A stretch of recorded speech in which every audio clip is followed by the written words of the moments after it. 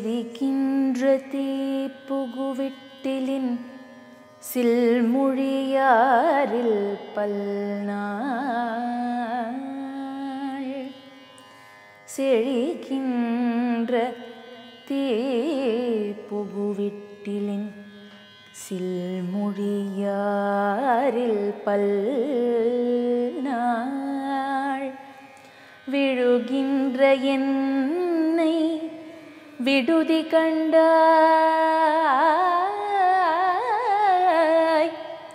விழுகின்ற என்னை விடுதி கண்டாய் விரிவாய் அருக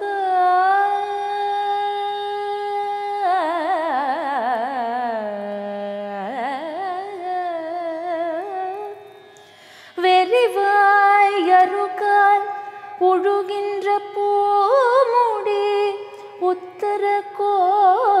கோசமங்கைக்கு அரசே.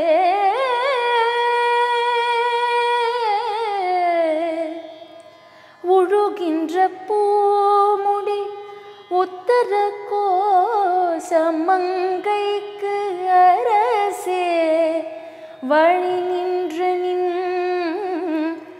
அருளார் அமுது ஊட்ட மறுத்தனே வழி நின்று நின் அருளாரமுது ஊட்ட மறுத்தனே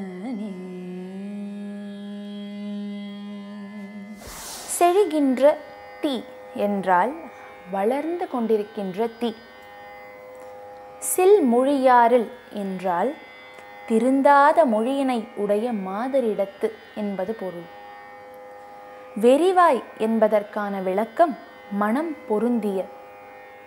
அறுகால் என்றால் ஆறு கால்களை உடைய வண்டு. உழுகின்ற என்றால் கிளறுகின்ற. வழி நின்று என்றால் வழியில் மறித்து நின்று. வளர்கின்ற தீயில் விட்டில் பூச்சி அதாவது வண்டு வீழ்வது போன்று நான் காமக்கனலில் உழல்கின்றேன் என்கிறார் மாணிக்கவாசகர். வண்டு மொய்க்கும் மனம் கமழும் பூவை முடியில் அணிந்திருக்கும் இறைவா சிவபெருமானே. அத்தகைய என்னை நீ வழிமறித்து ஆட்கொண்டு அருள் நிறைந்த அமிர்தத்தை நீ எனக்கு வழங்கினாய். நானோ அதை ஏற்க மறுத்தேன். ஆயினும் நீ என்னை தயவு செய்து கைவிட்டு விடாதே என்று கெஞ்சுகிறார் இந்த பாடலில் மாணிக்கவாசகர். பிரபஞ்ச பற்றுதல்களுள் காமம் என்னும் நோய் மிகவும் கொடியது என்று கூறுகிறார்.